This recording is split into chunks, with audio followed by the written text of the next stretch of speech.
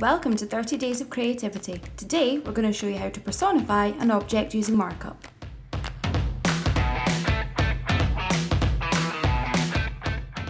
Use the camera app to take a photo of an object you can find in your home or outdoors.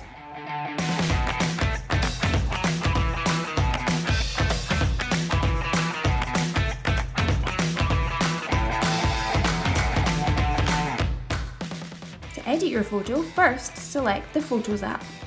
Find your photo and select Edit in the top right hand corner. Then select the three little dots and choose Markup from the drop down options. You can now use all of the tools on the top to edit your picture.